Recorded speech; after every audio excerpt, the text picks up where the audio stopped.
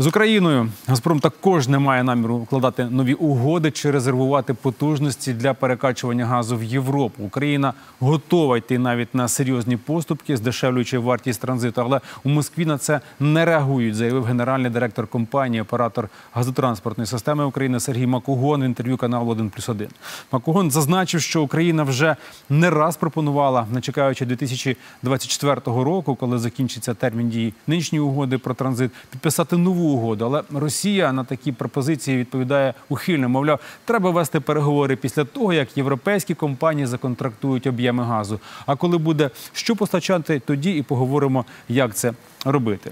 І те, що в Україні ситуація з ГТС стає малопрогнозованою, це вже очевидно. Сьогодні Газпром воліє зменшувати прокачування газу до Європи і все одно платити, як це визначено контрактом. Нафтогаз всіляко намагається заохотити і європейські компанії користуватися потужностями та сховищами, і навіть знижки значні пропонує. Але в Європі поки що чубляться довкола власної стратегії виходу з енергетичної кризи, а в Росії втішно потирають руки через те, що знайшли слабинку і вдарили в неї.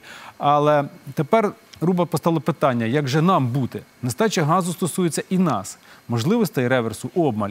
І чи не почалися на цьому тлі сепаратні переговори про відновлення прямих поставок газу з Росії? Як це взагалі сталося з енерго з електроенергією? Про е, це ми поговоримо також із нашим гостем, колишнім керівником Нафтогазу Андрієм Коболєвим. Вітаю вас, пане Андрію. Скажіть, будь ласка, чому Нафтогаз за останні там півтора роки дав такий серйозний крен? Я думаю, що крен насправді відбувся не е, півтора роки тому, а за попередні півроку. Е, результати минулого року насправді в порівнянні з усіма іншими газовими компаніями світу в Нафтогазі були достатньо пристойними. І е, кінець спального сезону Нафтогаз завершив з запасами грошовими на рахунках 2 мільярди доларів. Багато газу е, в підземному сховищі. Е, компанія отримала за тільки за перший квартал цього року прибуток близький до півмільярда доларів. Тому, пройшовши важкий період ковідної кризи, коли повторюся, всім компаніям та газом в світі було важко. Ну, наприклад, там приведу там інший приклад. Газпром суттєво знизив видобуток газу в Росії, тобто всім було важко. Тобто я вважаю, що якраз е, команда зробила досить якісну роботу. Е, була проведена успішна зміна е, стратегії, і вона, власне кажучи, дала той результат, який можна перевірити в цифрах. Він об'єктивний, він зафіксований, він існує. А ось за попередні півроку, приблизно з кінця квітня, я вважаю, що була зроблена велика помилка з Нафтогазом. Нафтогазі, по суті, було знищене корпоративне управління і компанія втратила керованість. І ця втрата керованості, як ми бачили з листа е, виконуючого обов'язки керівника Нафтогазу зараз, е, коштувала мінус 2 мільярди доларів з рахунків. І ще компанія просить приблизно 5 мільярдів доларів е, допомогу бюджету. Тобто, по суті, мінус 7 мільярдів за півроку, і це не якийсь там прибуток чи збиток, який є не грошовою формою, все таки, а це є реальна вимога надати гроші. Ці гроші треба розуміти, якщо підуть з бюджету. Це це гроші всіх нас. Це по-перше. І по-друге, з точки зору достатності газу в підземки, зараз йде дискусія. Я б не хотів там говорити, чи достатньо, чи недостатньо, але те, що зараз Україна знаходиться в зоні ризику, це очевидно всім. І якщо зараз буде надто холодна зима, чи Газпром піде в серйозну атаку і заблокує постачання газу території України, чи вистачить газу? особливо на імпорті, це велике питання. Але дай Бог, щоб його вистачило, треба розуміти, що цей газ зараз буде купуватися по ціні більше тисячі євро. Коли влітку, у травні, у е, червні його можна було купити за набагато меншою ціною. Тут, і гроші ці були. Тут два і питання постає. Можливо, ці гроші, про які ви сказали, які сьогодні Нафтогаз просить у бюджету, якраз і підуть для того, щоб перекрити різницю у вартості а, ринкової і те, що продають населенню. Треба ж Частково так. баланси ці перекривати. З іншого боку, хто і чому і як міг завадити Нафтогазу в літній період, починаючи навіть з весни, розпочати закупівлю газу? Хто стримував, хто по рукам і ногам тримав? Ніхто Нафтогазу цього заборонити не міг. Тоді чому не робили? Я повторюю свою тезу. Компанія втратила банальну керованість. Компанію нормально не керували. Компанія займалася іншими речами. На жаль, поточний менеджмент Нафтогазу він зорієнтований в першу чергу знищити все те, що було зроблено до цього. Тобто і щось, займалися, і щось займалися комусь тим, довести. що займалися типу, е, типу тим, що знищували, що було зроблено Да, до них, да. щоб на цих нових е, руїнах побудувати щось своє. Якщо встигнуть, якщо вдасться, тому що зараз ціна цього знищення, повторюсь, вже 7 мільярдів доларів. Це надто дорога ціна для цього, надто дорога ціна для всієї країни. Тому ніхто не заважав. Е, В травні відбулася дуже негативна подія. Після того, як було повністю звільнено керівництво Нафтогазу, включно зі мною, так повернуло наглядову раду, але всі розуміли, що це косметичний крок. Було втрачено реальну підтримку нашого головного міжнародного партнера. І ця втрата підтримки вилилася в абсолютно е, реальний негативний е, рух з боку Білого Дому. Було надано виключення санкцій, які до цього були проголосовані в е, Конгресі США. І це виключення, власне кажучи, дало поштовх Газпрому на те, щоб швидко завершити Північний потік 2 і розраховувати на його запуск в роботу або цього року, або на початку наступного.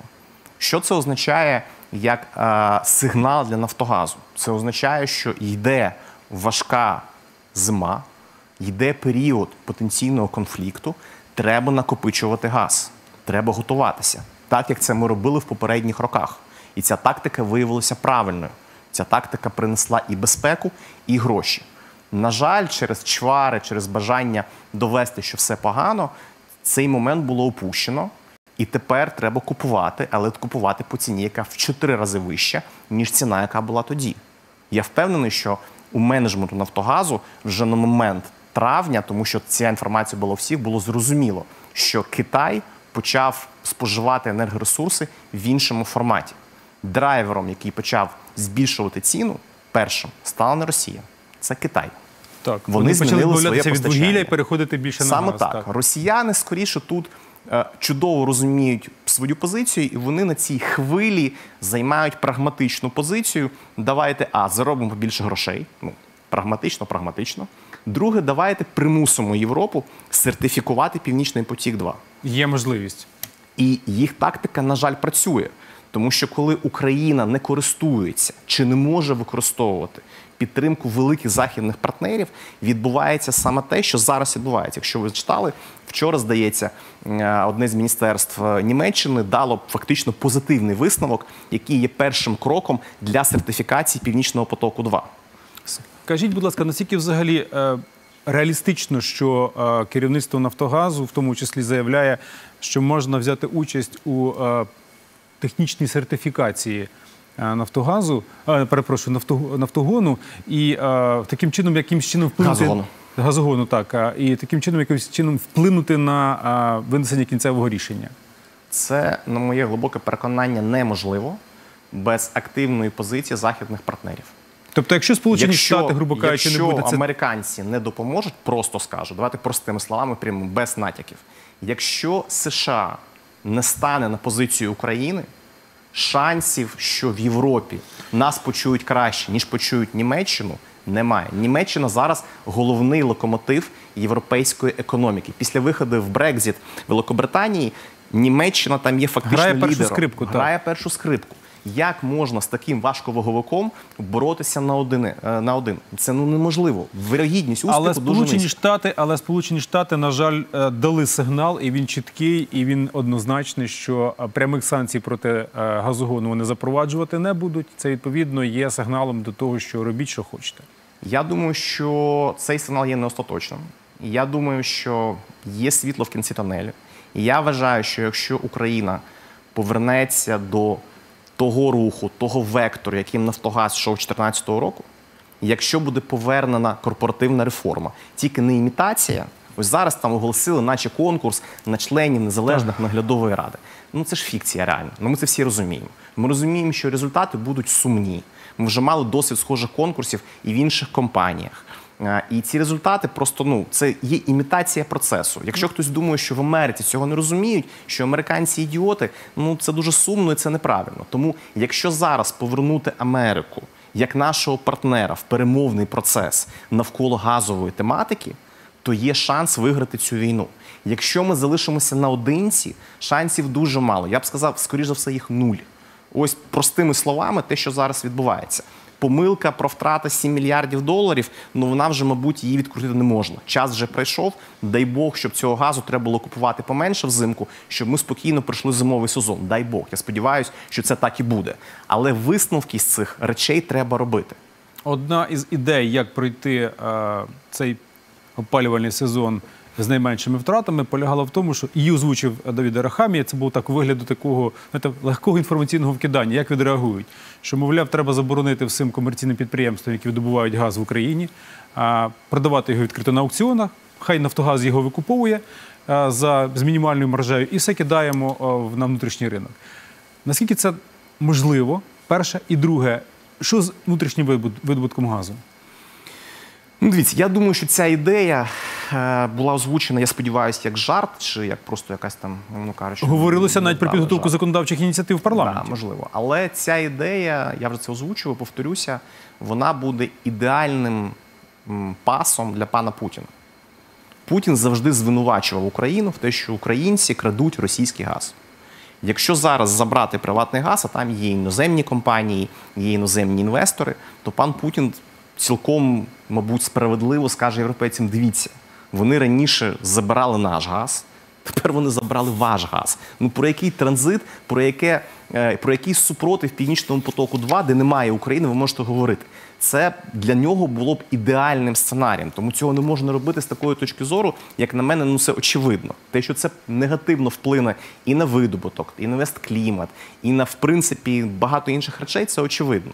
І саме страшне, що я глибоко переконую, що навіть це спробують зробити, то потім це назад відкрутять, але аргументи в Путіна вже, будуть. залишаться. Тобто буде як в анекдоті: ложечки Да, нашли, а остався. остався. Оце це буде найгірший варіант.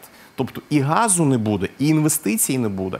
А в Путіна будуть козирні аргументи, як просувати Північний потік 2 Ось цього кардинально ніколи не можна робити. Що з внутрішнім видобутком? Невже все настільки погано, що ми не можемо, ну, наприклад, наростити найближчими роками цей видобуток до рівня, наприклад, 30 мільярдів, як е, декларувалося свого часу? Для цього потрібно, щоб ті ліцензії, які були передані великій державній компанії, найбільше Нафтогазу, а були вони передані, нагадаю, в листопаді-грудні минулого року, щоб на них була проведена успішна розвідка. Підвалом до цього заклали, що ми на початку цього року на шельфі була найнята норвезька компанія, один з лідерів ринку сейсміки, яка, якщо правильно все робити за планом, вже теоретично передбачали, що наступного року можна було б закладати першу свердловину. Закладати її в тому регіоні, де були успішні Румунія і Туреччина. Це процес, але без відкриття нових суттєвих родовищ видушувати старі родовища неможливо. Якщо просто часто порівнюють там приватні компанії Нафтогаз.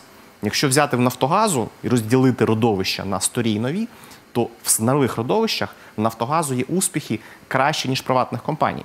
А кожна приватна компанія це, як правило, одне, два, ну може три родовища. І якщо порівнювати ці нові родовища, то тут Нафтогаз якраз демонстрував дуже позитивну і яскраву динаміку. Але проблема в тому, що старі родовища, в них ресурси закінчуються. Прискорювати відбір з цих родовищ, як правило, економічно недоцільно і дуже важко. Набагато доцільніше брати нові родовища, відкривати їх, розбурювати і видобувати. Оскільки ліцензій передали тільки наприкінці минулого року, то в середньому в цій галузі освоєння нового родовища займає ну, приблизно 3 роки. Тобто газ перший ви отримуєте роки через 3. Шельф є виключенням. Це варіант найбільш швидкого, найбільш ефективного прискорення видобутку.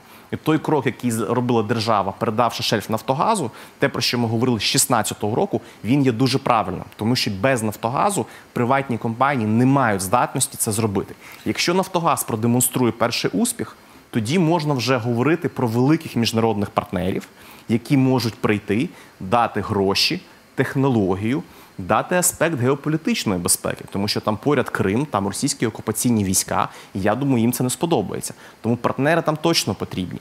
Але важливе, але якщо ви говорите зараз про якісь націоналізації чи якісь там большевістські кроки по газу, партнери не прийдуть. Тому це все взаємопов'язані речі. І дуже важливо, що в газовому секторі всі ці успіхи, там 140 мільярдів гривень доходів бюджету минулого року, ну це ж рекордна цифра, яка була зроблена Нафтогазом. Вони є саме наслідком послідовної системної стратегії. Ринок, субсидії, захист населення так само присутній, але при цьому інвестиції. Якщо робити правильно, вчасно давати ліцензії, буде і збільшення видобутку газу. Але за умови, що будуть знайдені нові родовища, повторюсь, без цього ніхто нічого збільшувати не буде. Пане Андрій, скажіть, будь ласка, за умов, якщо українська ГТС не буде завантажена найближчими роками, що з нею станеться? Які її перспективи? Ну я сподіваюся, що цього не відбудеться, але втрата фізичного транзиту для України буде мати дуже негативні наслідки. І ці наслідки відчують всі, тому що тоді фактично всі витрати по підтриманню ГТС, по її модернізації, по її ремонти, вони будуть перекладені на українських споживачів. Наразі ці витрати діляться з е, транзитним потоком. Якщо його не буде, то всі ці витрати стануть витратами української економіки. Звичайно, їх можна буде частково зменшити, можна буде зробити певне там зменшення потужності, що звичайно не хотілося робити, але це буде дуже негативний розвиток, і фактично наша ГТС втратить свого головного клієнта, який наразі приносить основну долю доходів. Скажіть, будь ласка, е, чи можливе використання ГТС е, для подачі водню на В цьому захід? стані ні. В цьому Тому стані що ні. водень це дуже специфічний газ. Він вимагає іншої хімії металу. Це найменша молекула газу всіх існуючих. Вона дуже легко викликає російською мовою це хрупкость. Вибачте, забув українське слово. Але для того, щоб її використовувати, треба точно змінювати е, матеріал, з якого ГТС зроблено. Тобто, Це фактично, треба перекладати ГТС. Да, перекладати труби. По-друге, всі з'єднання, всі, е, Стики, всі так елементи звані, стики, вони треба робити їх по-іншому, тому що водень він дуже, е, дуже легко просочується. Тому, на жаль, ця ідея нереальна. Я вважаю, що говорячи про альтернативні речі, один з найбільших потенціалів української галузі, газотранспортної, зараз знаходиться саме в біометані. Біометан це той напрямок, який для України, як для країни, яка володіє великим аграрним сектором, виглядає як найбільш реалістичний і найбільш доцільний. Тому я б скоріше говорив про біометан. Водень так само про нього треба говорити, але це інша система. І з водним є нюанси, які досі не є вирішеними в Європі. Ці нюанси, я вирішувати ну, ще років 5, тому років 10 на водень, як на якусь велику комерційну історію, яка буде хоча б за масштабом близька до транзиту газу, очікувати нереально. Біометан там так само він буде все одно менше, але тим не менш там і швидкість, і економічна доцільність, і вже готовий набір рішень щодо ціни та споживачів. Він робить його набагато більш привабливим. Дякую вам, пан Андрію, за участь у нашій програмі. Дякую за відповіді на питання. Спасибі, що знайшли час. Бажаю вам гарного вечора і плідної роботи далі.